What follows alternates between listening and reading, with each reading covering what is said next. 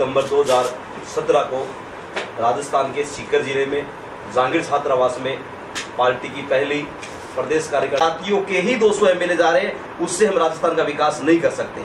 इसी प्रकार राजस्थान के जो 25 सांसद जीत कर जाते हैं। वो पाँच पच्चीस सांसद भी मात्र तीन सौ संविधान सही मायने में सही साबित नहीं हो रहा।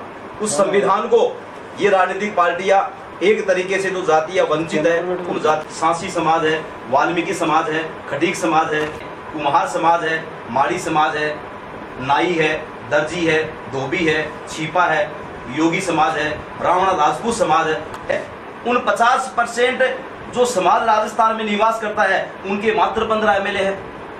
तो ये बहुत बड़ी स्थिति राजस्थान में है।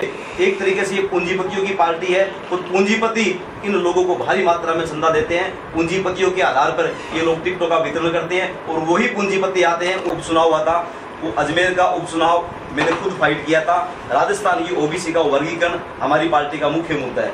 उस मुद्दे को लेकर हमने चुनाव लड़ा और अब राजस्थान में डीएसपी धिकार दल 21 मई को 21 मई 2018 से राजस्थान में सीकर ज़िले की कार्य हमारे दलित पिछड़ा अधिकार यात्रा का जो मुख्य एजेंडा है, वो मुख्य एजेंडा है कि राजस्थान की ओबीसी का वर्गीकरण करो, राजस्थान में पूर्ण रूप से शराबबंदी लागू करो और राजस्थान की एमएलए और को राजनीति में आगे लाएँगे। उनको एमएलए की टिकट देंगे, उनको पार्षदों की टिकट देंगे, उनको पंचायत समिति की टिकट देंगे, उनको जिला परिषद की टिकट देंगे, उनको एमपी के चुनाव लड़ाएँगे। जैसे कि हम आज शेखावाटी की झुंझुनू की धरती पर सिर्फ़ एक जाति को सिस्टम पे ले रखा है कि भी हम एक जाति को टिकट देंगे। उन, उन्हीं जाति के लोग जो जो एमपी बन रहे वो दूसरी जातियों को कभी एमएलए और एमपी बनने के लिए आह्वान नहीं करेगी हम उनको वोट देना सीखे। ऐसा और की स्थिति है कि तीनों चारों पार्टियाँ जो भी है, एक जाति को टिकट दे रही है। क्या एक जाति से संविधान चल जाएगा?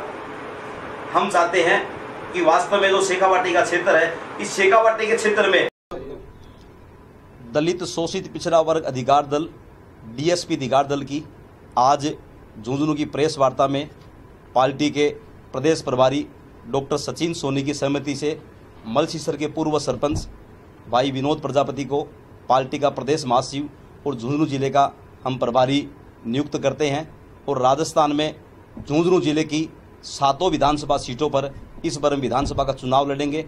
हमारी पार्टी का मुख्य उद्देश्य जो है वो राजस्थान की ओबीसी का वर्गीकरण। राजस्थान की ओबीसी में जब से कुछ साधन संपन्न जाति आई है, तब से राजस्थान के मोस्ट बैकवर्ड कास्ट के बच्चों के भविष्य की हत्या हो गई है। भारतीय जनता पार्टी का अध्यक्ष, भारतीय जनता पार्टी के मुख्यमंत्री, कांग्रेस के अध्यक्ष सचिन पायलट, ओबीसी बंटवारे पर एक जाति विशेष से डर रहे हैं। ओबीसी बंटवारे पर अपनी जबान नहीं खोल रहे हैं। हम उन दोनों पार्टियों से आह्वान करते हैं कि ओबीसी बंटवारा राजस्थान की 50 परसेंट आबादी से जुड़ा हुआ है। आप ओबीसी बंटवारे में उन जातियों को नजरअंदाज मत करो। अगर नजरअंदाज करोगे तो आने वाले विधानसभा चुनाव में वो जो पाँच पाँच साल का एग्रीमेंट कर रहे हैं, इस राजस्थान की जनता उनके एग्रीमेंट को खत्म करेगी। इस पर राजस्थान में 2018 के जो विधानसभा चुनाव होने जा रहे हैं, उसमें डीएसपी के बगैर राजस्थान में सरकार नहीं बनेगी। हम दातारामगढ़ से, हम शेखावटी के दातारामगढ़ से 21 मई से दलित शोषित पिछड़ा वर्ग अधिकार यात्रा निकालने जा रहे हैं, जो 14 अगस्त शहीद रामचंद्र विद्यार्थी के बलिदान दिवस पर समापन होगी। और उस यात्रा से मात्र तीन महीने में हम राजस्थान का परिदृश्य चेंज करेंगे और राजस्थान की पार्टियों को मजबूर करेंगे कि राजस्थान की जो 50 परसेंट, जो मोस्ट बैकवर्ड कास्ट है, वो भी राजस्थान में निवास करती है और राजस्थान का जो अति दलित तबका है, जिनके साथ में आए दिन अत्याचार होता है, हम उनके मुद्दों को लेकर भी एक बहुत बड़ा इस मूवमेंट को लेकर जन आंदोलन खड़ा करेंगे।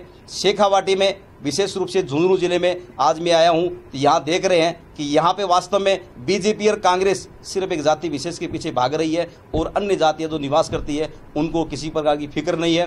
गहलोत साहब और वसुंधरा जी छत्तीस कौम का नारा देते हैं। हमारी पार्टी का नारा है कि हम पैंतीस बिरादरी को साथ में लेकर चलेंगे। हम पैंतीस बिरादरी को साथ में लेकर राजस्थान की राजस्थान की सत्ता पर हम काबिज होंगे और जो समाज सत्ता से वंचित है, उन समाज को सत्ता के शिखर पर पहुंचाएँगे। 2115 वोट मिले।